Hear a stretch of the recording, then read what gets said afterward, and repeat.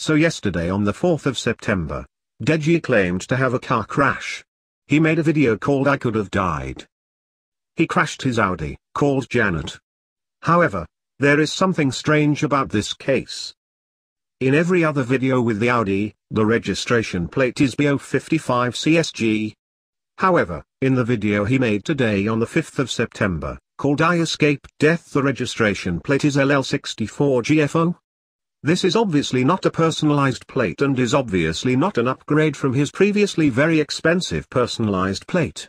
Maybe it would have been less strange if the LL64 plate came before the BO55 one, but it did not. It is a different car.